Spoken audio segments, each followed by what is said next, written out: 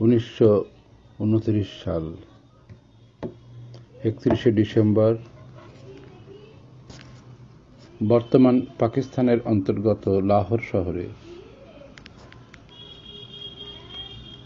ভারতের জাতীয় কংগ্রেসের অধিবেশন চলছে শেষ দিন।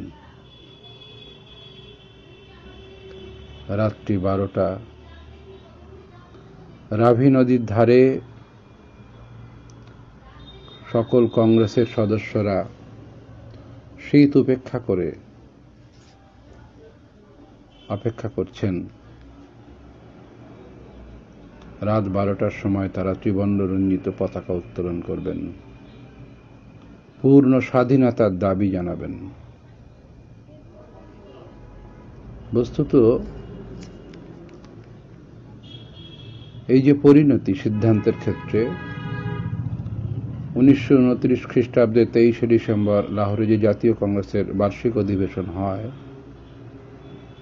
সেই অধিবেশনে গান্ধীজির অনুরোধে কংগ্রেসের তরুণ নেতা পণ্ডিত জওহরলাল নেহরু সভাপতি নির্বাচিত হন। এর ঠিক এক বছর আগে পণ্ডিত জওহরলাল নেহরু এবং সুভাষচন্দ্র বসু মিলিতভাবে ইন্ডিপেন্ডেন্স লীগ তৈরি করলেন। এবং এই ইন্ডিপেন্ডেন্স লীগের তাদের মূল বক্তব্য, মূল দাবি ছিল পূর্ণ স্বরাজ বা পূর্ণ স্বাধীনতা।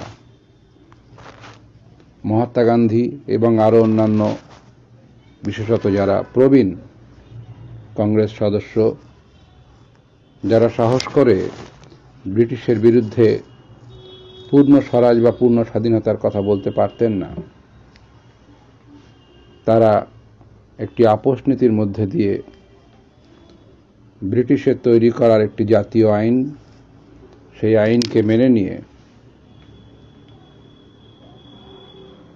তাদের সঙ্গে একটি আপোষের সঙ্গে চলবার সিদ্ধান্ত নিয়েছিলেন।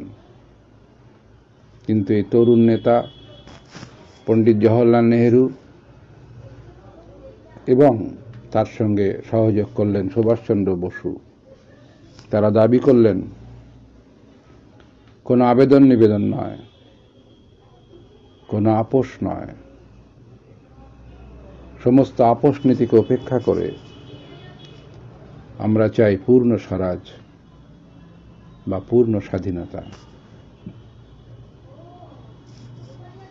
এবং এই পূর্ণ স্বরাজ এবং পূর্ণ স্বাধীনতার যে মত, এই যে অভিমত তারা ব্যক্ত করেছিলেন, তার কারণ তারা বিশ্বাস করেছিলেন যে স্বাধীনতার জন্যে সংগ্রাম করতে হবে, স্বাধীনতার জন্যে আরও বেশি ত্যাগ স্বীকার করতে হবে, না হলে ব্রিটিশ সরকারের কাছ থেকে ন্যায় বিচার আশা করা সম্ভব নয়। এবং তারা কথাও বলেছিলেন ব্রিটিশ সরকারের সুনির্দিষ্ট মনোভাবের অভাবে গোল টেবিল বৈঠকের লাভ দিয়ে কোনো, যোগ দিয়ে কোনো লাভ হবে না। সর্বশেষ, এই লাহোর সম্মেলনেই জওহরলাল নেহরুর নেতৃত্বে, সভাপতিত্বে প্রকাশ্য যে শেষ অংশ সমাবেশের, সেখানে সকলে সহমত হন এবং পূর্ণ স্বরাজ বা পূর্ণ স্বাধীনতার প্রস্তাব গৃহীত হয়। সেই পূর্ণ স্বরাজ বা পূর্ণ স্বাধীনতার যে প্রস্তাব গৃহীত হয়, সেই প্রস্তাবকে উদযাপন করবার জন্যে ভারতের জাতীয় কংগ্রেসের পক্ষ থেকে জওহরলাল নেহরুর সভাপতিত্বে যে তারুণ্যের অভিষেক হয় তাদের নেতৃত্বে উনিশশো সালের ছাব্বিশে জানুয়ারি ত্রিবর্ণ রঞ্জিত পতাকা উত্তোলন করে সেদিনটিকে তারা পূর্ণ স্বরাজ বা পূর্ণ স্বাধীনতার যে দাবি, তার উদযাপন দিবস হিসেবে পালন করেন। আমরা জানি ভারতবর্ষের স্বাধীনতা হয়েছে পনেরোই আগস্ট। এবং পনেরোই আগস্ট যে স্বাধীনতা আমরা পেয়েছিলাম সেই স্বাধীনতা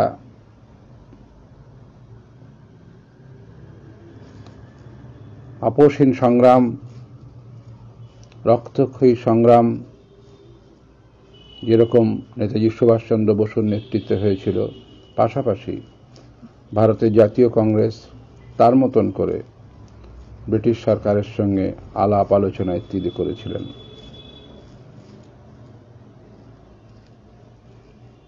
উনিশশো সাতচল্লিশ সালে পনেরোই আগস্ট ভারতবর্ষ যখন স্বাধীন হল, তখন আমাদের দেশের প্রধান হিসেবে থেকে গেলেন সিক্স জর্জ এবং গভর্নর জেনারেল থেকে গেলেন লর্ড লুই মাউন্ট ব্যাটন তখন আমাদের দেশে কোনো স্থায়ী সংবিধান নেই। ঔপনিবেশিক ভারত শাসন আইনে কিছু রদবদল ঘটিয়ে দেশ শাসনের কাজ শুরু হলো। স্বাধীনতা লাভের তেরো দিন পর, আঠাশে আগস্ট স্থায়ী সংবিধান রচনার জন্য একটি ডাক্টিং কমিটি গঠন করা হয় এবং এই কমিটির চেয়ারম্যান ছিলেন ভীমরাও রামজি আম্বেদকর।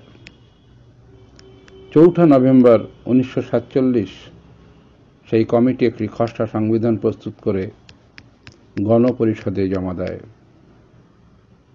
তখন লোকসভাও নয়, রাজ্যসভাও নয়। এবং এটি চূড়ান্তভাবে সংবিধান হিসেবে গৃহীত হওয়ার আগে দু বছর এগারো মাস আঠারো দিন ব্যাপী গণপরিষদের এই খসড়া সংবিধান আলোচনার জন্যে একশো ছেষট্টিটি অধিবেশন হয়, একশো ছেষট্টি বার অধিবেশন বসে। এবং সবচেয়ে গুরুত্বপূর্ণ হল, এই অধিবেশনে সাধারণ জনসাধারণের প্রবেশের অধিকার ছিল, অনুমতি সাপেক্ষে প্রবেশ পেয়েছিলেন। উনিশশো উনপঞ্চাশ সালের ছাব্বিশে নভেম্বর স্বাধীন ভারতের সংবিধান গৃহীত হবার পর ঠিক করা হয়। উনিশশো সালের ছাব্বিশে জানুয়ারি যে প্রথম স্বাধীনতা দিবস পালন করা হয়েছিল, লাহোর অধিবেশনের সিদ্ধান্তকে মনে রেখে সেই ছাব্বিশে জানুয়ারি দিনটিকেই উনিশশো পঞ্চাশ সালের ছাব্বিশে জানুয়ারি দিনটিকে তারা বেছে নেন এবং সেদিন থেকেই প্রকৃত অর্থে ভারতের নিজস্ব সংবিধান কার্যকর হবে। এবং সেদিন থেকেই ভারতবর্ষ হয়ে উঠল প্রজাতান্ত্রিক ভারতবর্ষ রিপাবলিক অফ ইন্ডিয়া বহু বিতর্ক ও কিছু সংশোধনের পর, চব্বিশে জানুয়ারি উনিশশো পঞ্চাশ গণপরিষদের তিনশো আট জন সদস্য, চূড়ান্ত সংবিধান, হাতে লেখা দুটি নথিতে একটি ইংরেজি অপরটি হিন্দিতে স্বাক্ষর করেন। এর দুদিন পর উনিশশো পঞ্চাশের ছাব্বিশে জানুয়ারি এই সংবিধান দেশব্যাপী কার্যকর হয়। এবং একথা শুনলে আপনারা খুব খুশি হবেন। ভারতবর্ষের উনিশশো পঞ্চাশ সালে যে সাধারণতন্ত্র দিবস, তার যে কুচকাওয়াজ অনুষ্ঠিত হয় বিভিন্ন দেশের রাষ্ট্রপ্রধান গুরুত্বপূর্ণ নেতৃস্থানীয় ব্যক্তিরা আসেন। তারা সাম্মানিক রাষ্ট্রীয় অতিথি হিসেবে তাদেরকে বরণ করে নেওয়া হয়। সেই থেকে প্রত্যেক বছর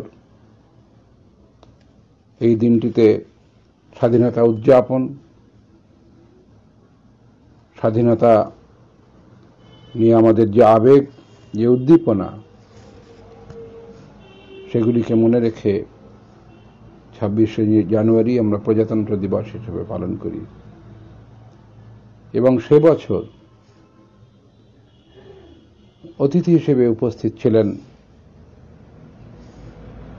মহাত্মা গান্ধী, স্বামী বিবেকানন্দ এবং ভারতীয় আধ্যাত্মবাদের অনুসারী ইন্দোনেশিয়ার রাষ্ট্রপ্রধান রাষ্ট্রপতি সুকর্ণ।